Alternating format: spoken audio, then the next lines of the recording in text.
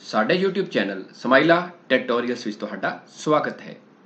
ਜੇਕਰ ਤੁਸੀਂ ਅਜੇ ਤੱਕ ਸਾਡੇ ਇਸ ਚੈਨਲ ਨੂੰ ਸਬਸਕ੍ਰਾਈਬ ਨਹੀਂ ਕੀਤਾ ਹੈ, ਤੇ ਕਿਰਪਾ ਕਰਕੇ ਇਸ ਨੂੰ ਸਬਸਕ੍ਰਾਈਬ ਜ਼ਰੂਰ ਕਰੋ ਅਤੇ ਬੈਲ ਆਈਕਨ ਨੂੰ ਪ੍ਰੈਸ ਕਰਨਾ ਨਾ ਭੁੱਲੋ, ਤਾਂ ਜੋ ਤੁਹਾਨੂੰ ਸਾਡੀਆਂ ਨਵੀਆਂ ਵੀਡੀਓਜ਼ ਦੇ ਨੋਟੀਫਿਕੇਸ਼ਨ ਨਾਲ-ਨਾਲ ਮਿਲਦੇ ਰਹਿਣ। ਮੈਂ ਬ੍ਰਿਜਰਾਜ, ਕੰਪਿਊਟਰ ਫੈਕਲਟੀ। ਅੱਜ ਅਸੀਂ ਵਿਸ਼ਾ ਕੰਪਿਊਟਰ ਸਾਇੰਸ, ਜਮਾਤ 12ਵੀਂ ਪਾਠ 2 ਸੀ ਵਿੱਚ ਕੰਟਰੋਲ ਸਟੇਟਮੈਂਟ ਵਿੱਚ ਪ੍ਰੈਕਟਿਸ ਸੈਸ਼ਨ 2 ਪੜਾਂਗੇ ਪ੍ਰੈਕਟੀਕਲ ਸੈਸ਼ਨ 1 ਵਿੱਚ ਅਸੀਂ ਡਿਸੀਜਨ ਮੇਕਿੰਗ ਸਟੇਟਮੈਂਟਸ ਬਾਰੇ ਪੜਿਆ ਸੀ। ਅੱਜ ਅਸੀਂ ਲੂਪਿੰਗ ਸਟੇਟਮੈਂਟ ਬਾਰੇ ਪੜਾਂਗੇ ਕਿ ਲੂਪਿੰਗ ਸਟੇਟਮੈਂਟਸ ਕੀ ਹੁੰਦੀਆਂ ਹਨ ਅਤੇ ਇਸ ਦੀਆਂ ਜਿਹੜੇ ਤਿੰਨ ਕਿਸਮਾਂ ਹੁੰਦੀਆਂ ਨੇ ਫੋਰ ਲੂਪ ਵਾਈਲ ਲੂਪ ਅਤੇ ਡੂ ਵਾਈਲ ਲੂਪ ਇਹਦੇ ਬਾਰੇ ਡਿਟੇਲ ਵਿੱਚ ਪੜਾਂਗੇ ਕਿ ਇਹ ਲੂਪ ਹੁੰਦੀਆਂ ਕੀ ਨੇ, ਇਹਨਾਂ ਦੇ ਸਿੰਟੈਕਸ ਕੀ ਨੇ ਤੇ ਇਹਨਾਂ ਦੇ ਪ੍ਰੋਗਰਾਮ ਅਸੀਂ ਸੀ ਲੈਂਗੁਏਜ 'ਚ ਕਿਵੇਂ ਬਣਾ ਸਕਦੇ ਹਾਂ। ਤੋਂ ਆਓ ਦੇਖਦੇ ਹਾਂ। ਤੇ ਸਭ ਤੋਂ ਪਹਿਲਾਂ ਗੱਲ ਕਰਦੇ ਹਾਂ ਲੂਪਿੰਗ ਹੁੰਦੀ ਕੀ ਹੈ ਤੇ ਲੂਪਿੰਗ ਕਿੰਨੇ ਕਿਸਮ ਦੀ ਹੁੰਦੀ ਹੈ। ਇਸ ਨੂੰ ਆਈਟਰੇਟਿਵ ਸਟੇਟਮੈਂਟ ਵੀ ਕਿਹਾ ਜਾਂਦਾ ਹੈ। ਇਸ ਦੀ ਵਰਤੋਂ ਕਿਸੇ ਸਟੇਟਮੈਂਟ ਜਾਂ ਹਦਾਇਤ ਹਦਾਇਤ ਨੂੰ ਬਾਰ-ਬਾਰ ਲਾਗੂ ਕਰਨ ਲਈ ਜਾਂ ਦੁਹਰਾਉਣ ਲਈ ਕੀਤੀ ਜਾਂਦੀ ਹੈ। ਮਤਲਬ ਕਿ ਜੇਕਰ ਸੀ ਲੈਂਗੁਏਜ ਤੁਸੀਂ ਕਿਸੇ ਸਟੇਟਮੈਂਟ ਨੂੰ ਬਾਰ-ਬਾਰ ਰਿਪੀਟ ਕਰਨਾ ਹੈ, ਤੇ ਉਹਦੇ ਲਈ ਅਸੀਂ ਲੂਪਿੰਗ ਸਟੇਟਮੈਂਟ ਦੀ ਵਰਤੋਂ ਕਰਦੇ ਹਾਂ। ਤੇ ਦੱਸਣਾ ਚਾਹਾਂਗਾ ਕਿ ਲੂਪਿੰਗ ਸਟੇਟਮੈਂਟ ਤਿੰਨ ਕਿਸਮ ਦੀ ਹੁੰਦੀ ਹੈ। ਫੋਰ ਲੂਪ ਵਾਈਲ ਲੂਪ ਤੇ ਡੂ ਵਾਈਲ ਲੂਪ ਹੁਣ ਅਸੀਂ ਇੱਕ ਇੱਕ ਕਰਕੇ ਤਿੰਨਾਂ ਬਾਰੇ ਪੜਾਂਗੇ ਉਹਨਾਂ ਦੇ ਸਿੰਟੈਕਸ ਦੇ ਨਾਲ ਪ੍ਰੋਗਰਾਮਸ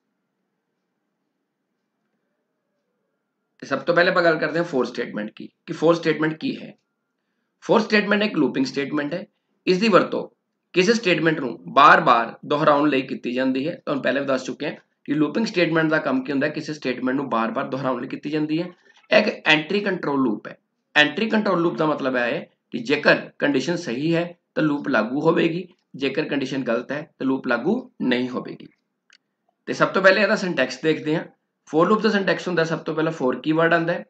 ਬ੍ਰੈਕਟ ਦੇ ਅੰਦਰ ਇਨੀਸ਼ੀਅਲਾਈਜੇਸ਼ਨ ਫਿਰ ਸੈਮੀਕੋਲਨ ਫਿਰ ਕੰਡੀਸ਼ਨ ਫਿਰ ਸੈਮੀਕੋਲਨ ਲਾਸਟ ਚ ਅਪਡੇਸ਼ਨ ਤੇ ਕਰਲੀ ਬ੍ਰੇਸਿਸ ਦੇ ਅੰਦਰ ਬੋਡੀ ਆਫ ਲੂਪ ਤੇ ਫੋਰ ਸਟੇਟਮੈਂਟ ਦੇ ਲਾਸਟ ਸੈਮੀਕੋਲਨ ਦੀ ਵਰਤੋਂ ਨਹੀਂ ਹੁੰਦੀ, ਇਹ ਧਿਆਨ ਰੱਖਣਾ ਤੇ ਸਭ ਤੋਂ ਪਹਿਲਾਂ ਗੱਲ ਕਰਦੇ ਹਾਂ ਇਨੀਸ਼ੀਅਲਾਈਜੇਸ਼ਨ ਦੀ। ਇਨੀਸ਼ੀਅਲਾਈਜੇਸ਼ਨ ਦਾ ਅਰਥ ਹੈ ਕੰਟਰੋਲ ਵੇਰੀਏਬਲ ਨੂੰ ਸ਼ੁਰੂ ਵਾਲੀ ਕੀਮਤ ਦੇਣਾ। ਇਸ ਦਾ ਅਰਥ ਹੈ ਲੂਪ ਕਿੱਥੋਂ ਸ਼ੁਰੂ ਹੋਵੇਗੀ।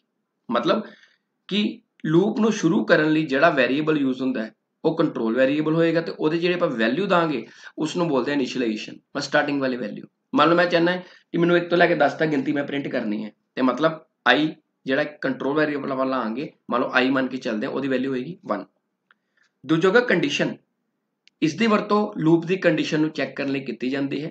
ਇਸ ਨੂੰ ਫਾਈਨਲ ਵੈਲਿਊ ਵੀ ਕਿਹਾ ਜਾਂਦਾ ਹੈ। ਫਾਈਨਲ ਵੈਲਿਊ ਕਿ ਲੂਪ ਕਿੱਥੇ ਤੱਕ ਚਲੇਗੀ? ਮੈਂ ਤੁਹਾਨੂੰ ਕਿਹਾ ਕਿ 1 ਤੋਂ ਲੈ ਕੇ 10 ਤੱਕ ਨੰਬਰ ਪ੍ਰਿੰਟ ਕਰਨੇ ਆ 1 ਹੋ ਗਿਆ ਇਨੀਸ਼ੀਅਲਾਈਜੇਸ਼ਨ 10 ਹੋ ਗਿਆ ਕੰਡੀਸ਼ਨ ਕਿ ਲੂਪ ਚਲੇਗੀ 10 ਤੱਕ, ਤੇ ਇਹਦੇ ਵਿੱਚ ਆਪਾਂ ਲੈਸ ਦੈਨ ਗ੍ਰੇਟਰ ਦੈਨ ਵਗੈਰਾ ਜਿਹੜੇ ਆਪਰੇਟਰ ਹੈ ਰਿਲੇਸ਼ਨਲ ਆਪਰੇਟਰ ਉਹ ਵਰਤਾਂਗੇ। ਤੇ ਥਰਡ ਹੈਗਾ ਜੀ ਅਪਡੇਸ਼ਨ ਅਪਡੇਸ਼ਨ ਦਾ ਮਤਲਬ ਹੈ ਕਿ ਕੰਟਰੋਲ ਵੇਰੀਏਬਲ ਦੀ ਕੀਮਤ ਨੂੰ ਵਧਾਉਣਾ ਜਾਂ ਘਟਾਉਣਾ। ਜੇਕਰ ਅਸੀਂ 1 ਤੋਂ ਲੈ ਕੇ 10 ਤੱਕ ਨੰਬਰ ਪ੍ਰਿੰਟ ਕਰਨੇ ਆ, ਤਾਂ ਉਸ ਕੇਸ 'ਚ ਅਪਡੇਸ਼ਨ ਦੀ ਵੈਲਿਊ ਵਧੇਗੀ। ਜੇਕਰ ਆਪਾਂ ਉਲਟੀ ਗਿਣਤੀ ਪ੍ਰਿੰਟ ਕਰਨੀ ਹੈ 10 ਤੋਂ ਲੈ ਕੇ 1 ਤੱਕ, ਤੇ ਉਸ ਕੇਸ ਵਿੱਚ ਜਿਹੜਾ ਕੰਟਰੋਲ ਵੇਰੀਏਬਲ ਹੈ, ਉਹਦੀ ਵੈਲਿਊ ਜਿਹੜੀ ਹੈ, ਉਹ ਲੈਸ ਹੋਵੇਗੀ, ਘਟੇਗੀ। ਹੁਣ ਅਸੀਂ ਫੋਰ ਲੂਪ ਨੂੰ ਇੱਕ ਪ੍ਰੋਗਰਾਮ ਦੀ ਮਦਦ ਨਾਲ ਸਮਝਦੇ ਹਾਂ।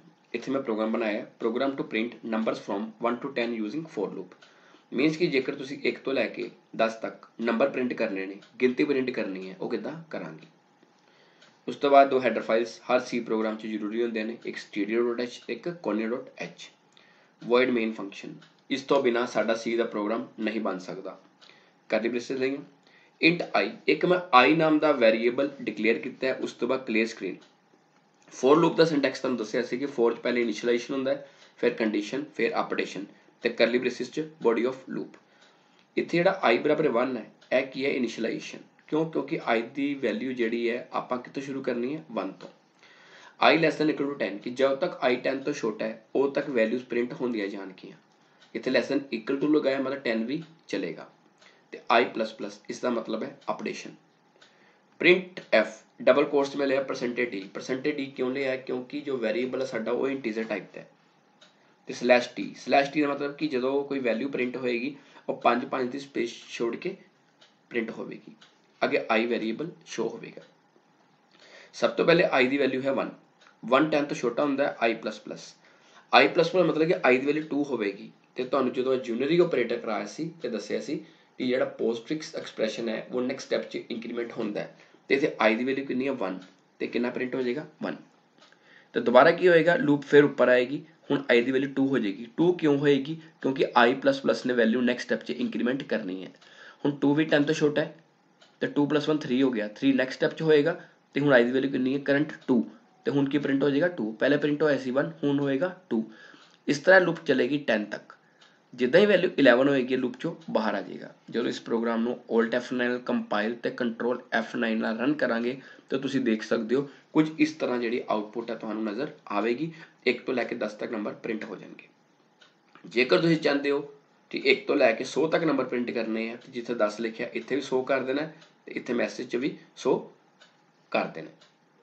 ਤੇ ਜੇਕਰ ਅਸੀਂ ਤੇ ਸਲੈਸ਼ ਟੀ ਨਹੀਂ ਲਗਾਉਂਦੇ, ਤੇ ਜਿਹੜੀ ਆਉਟਪੁੱਟ ਹੈ, ਉਹ ਵਰਟੀਕਲੀ ਆਏਗੀ ਤੇ ਉਹਦੇ ਨਾਲ ਕੀ ਹੋਏਗਾ ਕਿ ਸਾਰੀ ਆਊਟਪੁੱਟ ਸਕਰੀਨ ਤੇ ਪ੍ਰੋਪਰ ਸ਼ੋ ਨਹੀਂ ਹੋ ਪਾਏਗੀ। ਇਸ ਕਰਕੇ ਸਲੈਸ਼ ਟੀ ਲਗਾਇਆ ਜਾਵੇ ਤੇ ਪ੍ਰੋਗਰਾਮ ਦੀ ਆਊਟਪੁੱਟ ਜਿਹੜੀ ਹੈ ਤੁਹਾਨੂੰ ਇਸ ਤਰ੍ਹਾਂ ਨਜ਼ਰ ਆਵੇਗੀ ਹੌਰੀਜ਼ੌਂਟਲ ਫਾਰਮ 'ਚ। ਹੁਣ ਅਸੀਂ ਇੱਕ ਪ੍ਰੋਗਰਾਮ ਹੋਰ ਬਣਾ ਕੇ ਦੇਖਦੇ ਹਾਂ। Program to print numbers from 10 to 1 using for loop ਮਤਲਬ ਰਿਵਰਸ ਲੂਪ ਹੁਣ ਅਸੀਂ ਨੰਬਰ ਪ੍ਰਿੰਟ ਕੀਤੇ ਆ 1 ਤੋਂ ਲੈ ਕੇ 10 ਤੱਕ, ਹੁਣ ਦੇਖਾਂਗੇ 10 ਟੂ 1 ਉਸੇ ਤਰ੍ਹਾਂ ਹੈਡਰ ਫਾਈਲਾਂ ਲਈਆਂ, void main ਫੰਕਸ਼ਨ ਲਗਾਇਆ ਇੰਟ i ਇੱਕ ਵੈਰੀਏਬਲ ਲਿਆ ਕਲੇਸ ਸਕਿਨ ਲਗਾਇਆ, ਹਾਂ, ਹੁਣ ਲੂਪ ਦੇ ਧਿਆਨ ਨਾਲ ਦੇਖੋ, ਇੱਥੇ i ਦੀ ਵੈਲਿਊ ਮੈਂ ਲਈ ਹੈ 10 ਕਿ ਇਨੀਸ਼ੀਅਲਾਈਜੇਸ਼ਨ ਕਿੰਨੀ ਹੈਗੀ ਹੈ 10 ਤੇ ਕੰਡੀਸ਼ਨ ਕਿੰਨੀ ਹੈ ਗ੍ਰੇਟਰ ਦੈਨ ਇਕੁਅਲ ਟੂ 1 ਕਿ ਜਦੋਂ ਤੱਕ 10 1 ਤੋਂ ਵੱਡਾ ਹੈ, ਤੇ i ਮਾਈਨਸ ਮਾਈਨਸ ਕਿੱਥੇ ਡਿਕਰੀਮੈਂਟ ਹੋਏਗਾ, ਤੇ printf ਬੋਡੀ ਆਫ ਲੂਪ ਹੈ, ਜੇ ਆਪਾਂ i ਦੀ ਗੱਲ ਕਰੀਏ, ਤੇ i ਸਭ ਤੋਂ ਪਹਿਲੇ ਕਿੰਨਾ ਪ੍ਰਿੰਟ ਹੋਏਗਾ 10 10 1 ਤੋਂ ਵੱਡਾ ਹੁੰਦਾ 10 1 ਕਿੰਨਾ ਹੋ ਗਿਆ 9 ਹੁਣ ਦੂਜੇ ਸਟੈਪ ਜਿੱਥੇ ਪ੍ਰਿੰਟ ਕਰਨਾ ਹੋਏਗਾ 9 ਇਸ ਤਰ੍ਹਾਂ ਜਿਹੜੀ ਲੂਪ ਹੈਗੀ ਹੈ ਕਿੱਥੇ ਤੱਕ ਚੱਲੇਗੀ ਅਪ ਟੂ 1 ਤੱਕ alt f9 ਪਰ ਕੰਪਾਈਲ ਕੀਤਾ ਤੇ ਕੰਟਰੋਲ f9 ਨਾਲ ਰਨ ਤੇ ਹੁਣ ਇਸ ਪ੍ਰੋਗਰਾਮ ਦੀ ਆਉਟਪੁੱਟ ਕੀ ਆਏਗੀ 10 9 8 7 ਅਪ ਟੂ 1 ਤੇ ਇਸ ਪ੍ਰੋਗਰਾਮ ਨੂੰ ਤੁਸੀਂ ਕਿਸੇ ਹੋਰ ਫਿਗਰ ਨਾਲ ਵੀ ਟਰਾਈ ਕਰ ਸਕਦੇ ਹੋ 100 ਤੋਂ ਲੈ ਕੇ 1 ਤੱਕ ਗਿਣਤੀ ਪ੍ਰਿੰਟ ਕਰਨੀ ਹੈ 200 ਤੋਂ ਲੈ ਕੇ ਪ੍ਰਿੰਟ ਕਰਨੀ ਹੈ, ਉਹ ਤੁਸੀਂ ਇੱਥੇ ਵੈਰੀਏਬਲ ਚੇਂਜ ਕਰਨਾ ਜਿੱਥੇ ਇਨੀਸ਼ੀਅਲਾਈਜੇਸ਼ਨ ਲਈ ਇੱਥੇ ਅਸੀਂ ਮਾਈਨਸ ਮਾਈਨਸ ਕਿਉਂ ਲਗਾਇਆ? ਕਿਉਂਕਿ ਲੂਪ ਰਿਵਰਸ ਚੱਲਦੀ ਪਈ ਹੈ। ਤੇ ਜਦੋਂ ਲੂਪ ਸਿੱਧੀ ਚੱਲ ਰਹੀ ਹੋਵੇ, ਉਦੋਂ ਅਸੀਂ ਪਲੱਸ ਪਲੱਸ ਲਗਾਉਂਦੇ ਹਾਂ। ਨੈਕਸਟ ਹੈ ਵਾਈਲ ਸਟੇਟਮੈਂਟ ਕੀ ਹੈ? ਲੂਪਿੰਗ ਦੀ ਦੂਜੀ ਕਿਸਮ ਹੈ ਵਾਈਲ ਸਟੇਟਮੈਂਟ ਇਹ ਇੱਕ ਲੂਪਿੰਗ ਸਟੇਟਮੈਂਟ ਹੈ, ਇਹ ਇੱਕ ਪ੍ਰੀ ਟੈਸਟ ਲੂਪ ਹੈ। ਇਸ ਦੀ ਵਰਤੋਂ ਕਿਸੇ ਸਟੇਟਮੈਂਟ ਨੂੰ ਬਾਰ-ਬਾਰ ਦੁਹਰਾਉਣ ਲਈ ਕੀਤੀ ਜਾਂਦੀ ਹੈ। ਵਾਈਲ ਲੂਪ ਉਦੋਂ ਤੱਕ ਕੰਮ ਕਰਦੀ ਹੈ, ਜਦੋਂ ਤੱਕ ਕੰਡੀਸ਼ਨ ਸਹੀ ਹੈ। ਜਦੋਂ ਕੰਡੀਸ਼ਨ ਗਲਤ ਹੋ ਜਾਂਦੀ ਹੈ, ਤਾਂ ਉਦੋਂ ਵਾਈਲ ਲੂਪ ਕੰਮ ਕਰਨਾ ਬੰਦ ਕਰ ਦਿੰਦੀ ਹੈ। ਮਤਲਬ ਜਿੱਦਾਂ ਫੋਰ ਲੂਪ ਹੈ, ਉਸੇ ਤਰ੍ਹਾਂ ਵਾਈ ਲੂਪ ਹੈ। ਬਟ ਵਾਈਲ ਲੂਪ ਜਿਹੜੀ ਹੈ, ਇੱਕ ਪ੍ਰੀ ਟੈਸਟ ਲੂਪ ਹੈ। ਤੇ ਪ੍ਰੀ ਟੈਸਟ ਲੂਪ ਦਾ ਮਤਲਬ ਹੁੰਦਾ ਹੈ ਕਿ ਕੰਡੀਸ਼ਨ ਜਿਹੜੀ ਹੈ, ਉਹ ਪਹਿਲਾਂ ਚੈੱਕ ਹੁੰਦੀ ਹੈ ਤੇ ਬੋਡੀ ਆਫ ਲੂਪ ਬਾਅਦ ਵਿੱਚ ਚੱਲਦੀ ਹੈ। ਤੇ ਇਹਦਾ ਵੀ ਸਿੰਟੈਕਸ ਦੇਖਦੇ ਹਾਂ। ਇਹਦੇ ਸਿੰਟੈਕਸ ਵੀ ਉਸੇ ਤਰ੍ਹਾਂ ਹੀ ਹੈ ਜੀ, ਜਿੱਦਾਂ ਇਨੀਸ਼ੀਅਲਾਈਜੇਸ਼ਨ ਕੰਡੀਸ਼ਨ ਅਪਡੇਸ਼ਨ ਬਟ ਫ਼ਰਕ ਕੀ ਹੈ? ਕਿ ਫੋਰ ਲੂਪ ਦੇ ਅੰਦਰ ਸਾਨੂੰ ਸਭ ਕੁਝ ਐਡਵਾਂਸ ਚ ਪਤਾ ਹੋਣਾ ਚਾਹੀਦਾ ਹੈ ਕਿ ਸਟਾਰਟਿੰਗ ਸਟੇਟਮੈਂਟ ਵਿੱਚ ਸਾਨੂੰ ਕਿੰਨੇ ਕਿ ਲੂਪ ਸ਼ੁਰੂ ਕਿੱਥੋਂ ਕਰਨੀ ਹੈ, ਖਤਮ ਕਿੱਥੇ ਕਰਨੀ ਹੈ ਤੇ ਅਪਡੇਸ਼ਨ ਉਹਦੀ ਕੀ ਹੋਏਗੀ? ਬਟ ਵਾਈਲ ਲੂਪ ਦੇ ਅੰਦਰ ਇਨੀਸ਼ੀਅਲਾਈਜੇਸ਼ਨ ਕੰਡੀਸ਼ਨ ਤੇ ਅਪਡੇਸ਼ਨ ਇਹ ਸਾਰੀਆਂ ਅਲੱਗ-ਅਲੱਗ ਲਾਈਨਾਂ 'ਚ ਆਉਂਦੀਆਂ ਨੇ। ਤੇ ਉਸੇ ਤਰ੍ਹਾਂ ਇਨੀਸ਼ੀਅਲਾਈਜੇਸ਼ਨ ਦੀ ਡੈਫੀਨੇਸ਼ਨ ਹੈ ਕਿ ਕੰਟਰੋਲ ਵੇਰੀਏਬਲ ਸ਼ੁਰੂ ਵਾਲੀ ਕੀਮਤ ਦੇਣਾ ਤੇ ਇਹਦਾ ਮਤਲਬ ਹੈ ਕਿ ਲੂਪ ਸ਼ੁਰੂ ਕਿੱਥੋਂ ਹੋਵੇਗੀ। ਤੇ ਕੰਡੀਸ਼ਨ ਇਹਦਾ ਮਤਲਬ ਹੈ ਕਿ ਕੰਡੀਸ਼ਨ ਚੈੱਕ ਕਰਦੀ ਹੈ ਤੇ ਇਸ ਨੂੰ ਫਾਈਨਲ ਵੈਲਿਊ ਵੀ ਕਿਹਾ ਜਾਂਦਾ ਹੈ ਲੂਪ ਕਿੱਥੇ ਤੱਕ ਚਲੇਗੀ।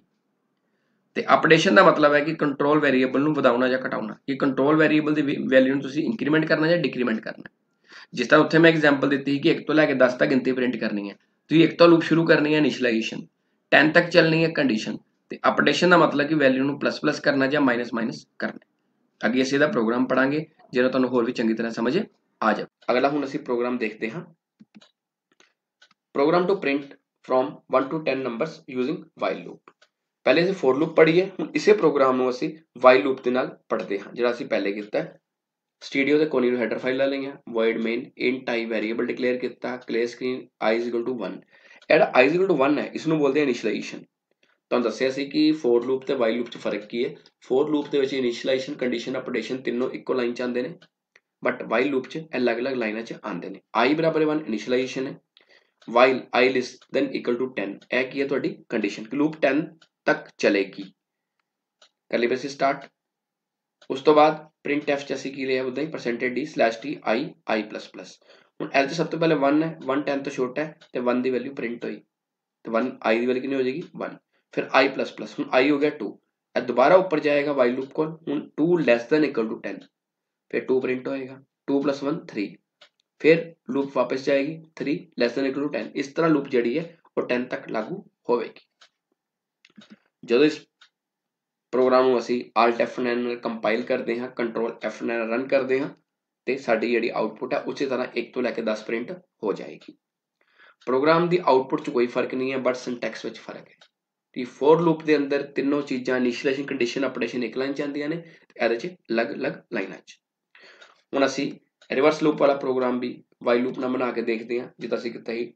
10 ਟੂ 1 ਹੁਣ ਕਰਾਂਗੇ ਯੂਜ਼ਿੰਗ ਵਾਈਲ ਲੂਪ ਸਟੂਡੀਓ ਕੋਨੇ ਤੋਂ ਹੈਡਰ ਫਾਈਲਾਂ ਲਈਆਂ void main curly braces start int i clear screen i 10 ਹੁਣ ਇਨੀਸ਼ੀਅਲਾਈਜੇਸ਼ਨ ਜਿਹੜੀ ਹੈ ਉਹ 10 ਹੋਗੀ 10 ਕਿਉਂ ਹੋਗੀ ਕਿਉਂ ਲੂਪ ਆਪਾਂ 10 ਤੋਂ ਚਲਾਣੀ ਹੈ। ਤੇ ਕਿੱਥੇ ਤੱਕ ਚਲੇਗੀ? 1 ਤੱਕ। ਤੇ ਵਾਈਲ ਤੇ ਲਗਾਇਆ while i greater than equal to 1 ਪਹਿਲੇ ਆਪਾਂ ਲੈਸ ਦਨ ਲਗਾਇਆ ਸੀ, ਹੁਣ greater than ਲਗਾਵਾਂਗੇ, ਕਿਉਂਕਿ ਲੂਪ ਜਿਹੜੀ ਹੈ ਰਿਵਰਸ ਚੱਲਣੀ ਹੈ। Curly braces start printf percentage d slash t i i minus minus. ਇਹਦੇ ਚ ਵੀ ਸਭ ਤੋਂ ਪਹਿਲੇ ਵੈਲਿਊ ਕਿੰਨੀ ਆਈ ਦੀ 10 10 greater than equal to 1 yes. ਤੇ ਪ੍ਰਿੰਟ ਕਿੰਨਾ ਹੋ ਜਾਏਗਾ 10 ਤੇ 10 minus 1 ਕਿੰਨਾ ਹੋ ਗਿਆ 9 ਹੁਣ ਫਿਰ ਲੂਪ ਤੇ ਆਏਗਾ 9 greater than equal to 1 yes. ਤੇ ਇੱਥੇ ਪ੍ਰਿੰਟ ਹੋ ਜਾਏਗਾ 9 ਤੇ ਫਿਰ 9 minus 1 8 ਇਸ ਤਰ੍ਹਾਂ ਲੂਪ ਜਿਹੜੀ ਅਪ ਟੂ 1 ਤੱਕ ਚਲੇਗੀ ਇਸ ਪ੍ਰੋਗਰਾਮ ਨੂੰ ਜਦੋਂ ਅਸੀਂ alt F9 ਨਾਲ ਕੰਪਾਈਲ ਕਰਾਂਗੇ ਕੰਟਰੋਲ F9 ਰਨ ਕਰਾਂਗੇ ਤੇ ਆਉਟਪੁੱਟ ਆ ਜਾਏਗੀ 10 ਤੋਂ ਲੈ ਕੇ 1 ਤੱਕ ਬਾਕੀ ਤੁਸੀਂ ਜਿਹੜਾ ਮਰਜ਼ੀ ਨੰਬਰ ਡੂ ਵਾਈਲ ਸਟੇਟਮੈਂਟ ਕੀ ਹੈ डू वाइल लूप एक पोस्ट टेस्ट लूप है मतलब एक लूपिंग स्टेटमेंट है पोस्ट टेस्ट लूप है ਇਸ ਨੂੰ ਪੋਸਟ ਟੈਸਟ ਲੂਪ ਇਸ ਲਈ ਕਿਹਾ ਜਾਂਦਾ ਹੈ ਕਿਉਂਕਿ ਇਸ ਲੂਪ ਵਿੱਚ ਜਿਹੜੀ ਹੈ ਬੋਡੀ ਪਹਿਲਾਂ ਐਗਜ਼ੀਕਿਊਟ ਹੁੰਦੀ ਹੈ ਤੇ ਕੰਡੀਸ਼ਨ ਲਾਸਟ ਵਿੱਚ ਚੈੱਕ ਹੁੰਦੀ ਹੈ ਜਦਕਿ ਪ੍ਰੀ ਟੈਸਟ ਵਿੱਚ ਕੀ ਹੁੰਦਾ ਹੈ ਕਿ ਪਹਿਲੇ ਕੰਡੀਸ਼ਨ ਚੈੱਕ ਹੁੰਦੀ ਹੈ ਤੇ ਲਾਸਟ ਵਿੱਚ ਬੋਡੀ ਲੂਪ ਚੱਲਦੀ ਹੈ ਬਟ ਪੋਸਟ ਟੈਸਟ ਲੂਪ ਵਿੱਚ ਪਹਿਲਾਂ ਲੂਪ ਚੱਲਦੀ ਹੈ ਉਸ ਤੋਂ ਬਾਅਦ ਕੰਡੀਸ਼ਨ ਚੈੱਕ ਹੁੰਦੀ ਹੈ ਤੇ ਯਾਰਾ ਸਿੰਟੈਕਸ ਕੁਝ ਇਸ ਤਰ੍ਹਾਂ ਹੈ। ਸਭ ਤੋਂ ਪਹਿਲੇ ਇਹ ਚ ਇਨੀਸ਼ੀਅਲਾਈਜੇਸ਼ਨ ਆਉਂਦੀ ਹੈ, ਫਿਰ ਡੂ ਕੀਵਰਡ ਆਉਂਦਾ ਹੈ, ਫਿਰ ਕਰਲੀ ਬ੍ਰੇਸਿਸ ਆਉਂਦੀ ਹੈ ਬੋਡੀ ਲੂਪ ਅਪਡੇਸ਼ਨ ਤੇ ਲਾਸਟ ਵਿੱਚ ਵਾਈਲ ਕੰਡੀਸ਼ਨ ਤੇ ਸੈਮੀਕੋਲਨ ਨਾ ਹੀ ਫੋਰ ਲੂਪ ਚ ਲਾਸਟ ਵਿੱਚ ਸੈਮੀਕੋਲਨ ਯੂਜ਼ ਹੁੰਦਾ ਤੇ ਨਾ ਹੀ ਵਾਈਲ ਚ। ਬਟ ਡੂ ਵਾਈਲ ਦੇ ਵਿੱਚ ਸੈਮੀਕੋਲਨ ਲਾਸਟ ਵਿੱਚ ਯੂਜ਼ ਹੁੰਦਾ। ਉਹ ਕਿਉਂ? ਕਿਉਂਕਿ ਇਹ ਜਿਹੜੀ ਕੰਡੀਸ਼ਨ ਹੈਗੀ ਹੈ, ਉਹ ਲਾਸਟ ਵਿੱਚ ਚੈੱਕ ਹੁੰਦੀ ਹੈ। ਐਰ ਚ ਵੀ ਇਨੀਸ਼ੀਅਲਾਈਜੇਸ਼ਨ ਉਸੇ ਤਰ੍ਹਾਂ ਹੈ। ਕਿ ਕੰਟਰੋਲ ਵੇਰੀਏਬਲ ਨੂੰ ਸ਼ੁਰੂ ਵਾਲੀ ਕੀਮਤ ਦੇਣਾ। ਇਸ ਦਾ ਅਰਥ ਹੈ ਕਿ ਲੂਪ ਕਿੱਥੋਂ ਸ਼ੁਰੂ ਹੋਵੇਗੀ? ਤੇ ਕੰਡੀਸ਼ਨ ਦਾ ਮਤਲਬ ਹੈ ਕਿ ਲੂਪ ਦੀ ਕੰਡੀਸ਼ਨ ਚੈੱਕ ਕਰਨੀ ਹੈ ਤੇ ਲੂਪ ਕਿੱਥੇ ਤੱਕ ਚੱਲੇਗੀ? ਇਸ ਨੂੰ ਫਾਈਨਲ ਵੈਲਿਊ ਵੀ ਕਿਹਾ ਜਾਂਦਾ ਹੈ ਤੇ ਥਰਡ ਹੈ ਅਪਡੇਸ਼ਨ ਇਸ ਦਾ ਅਰਥ ਹੈ ਕੰਟਰੋਲ ਵੇਰੀਏਬਲ ਦੀ ਕੀਮਤ ਨੂੰ ਵਧਾਉਣਾ ਜਾਂ ਘਟਾਉਣਾ। ਕਿ ਕੰਟਰੋਲ ਵੇਰੀਏਬਲ ਦੀ ਵੈਲਿਊ ਨੂੰ ਵਧਾਉਣਾ ਜਾਂ ਘਟਾਉਣਾ ਹੈ। ਹੁਣ ਤੁਹਾਨੂੰ ਤਿੰਨ ਲੂਪ ਪੜਾਈਆਂ ਫੋਰ ਵਾਈਲ ਤੇ ਡੂ ਵਾਈਲ ਫੋਰ ਵਿੱਚ ਦੱਸਿਆ ਹੈ ਕਿ ਇਨੀਸ਼ੀਅਲਾਈਜੇਸ਼ਨ ਕੰਡੀਸ਼ਨ ਅਪਡੇਸ਼ਨ ਤਿੰਨੋਂ ਇੱਕ ਹੀ ਲਾਈਨ 'ਚ ਆ ਜਾਂਦੀ ਹੈ ਜਿਸ ਕਰਕੇ ਇਹਨੂੰ ਐਂਟਰੀ ਕੰਟਰੋਲ ਲੂਪ ਬੋਲਦੇ ਆ। ਵਾਈਲ ਲੂਪ ਦੇ ਵਿੱਚ ਕੀ ਹੁੰਦਾ ਹੈ?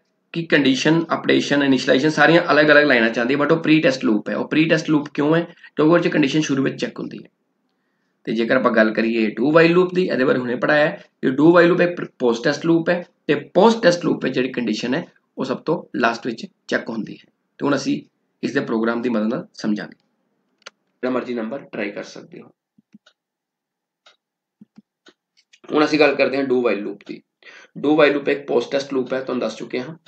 ਇਹਦੇ ਮੈਂ ਕੁਇੰਟ ਲਾਈਨ ਚ ਲਿਖਿਆ program to print numbers from 1 to 10 using do while loop studio ਕੋਨੇ ਤੋਂ ਹੈਡਰ ਫਾਈਲਾਂ ਲਈਆਂ ਵਰਡ ਮੇਨ ਫੰਕਸ਼ਨ ਲਗਾਇਆ ਕਰਲੀ ਬ੍ਰੇਸ ਲਈ int i clear screen i 1 ਕਿ i ਦੀ ਵੈਲਿਊ ਕਿੰਨੀ ਹੈਗੀ ਹੈ? 1 ਤੇਰਾ ਸਿੰਟੈਕਸ ਜਿਹੜਾ i 1 ਹੈ, ਇਹ ਕੀ ਹੈਗੀ ਇਨੀਸ਼ੀਅਲਾਈਜੇਸ਼ਨ ਕਿਉਂਕਿ ਡੂ ਵਾਈਲ ਦਾ ਸਿੰਟੈਕਸ ਤੁਹਾਨੂੰ ਕਰਾਇਆ ਸੀ, ਪਹਿਲੇ ਇਨੀਸ਼ੀਅਲਾਈਜੇਸ਼ਨ ਆਂਦਾ ਫਿਰ ਡੂ ਆਂਦਾ ਫਿਰ ਕਰਲੀ ਸਟਾਰਟ ਫਿਰ body of loop body of loop ਮਤਲਬ ਕਿ ਜਿਹੜੀ ਪ੍ਰਿੰਟਫ ਸਟੇਟਮੈਂਟ ਤੁਸੀਂ ਲਗਾਉਣਾ ਚਾਹੁੰਦੇ ਹੋ।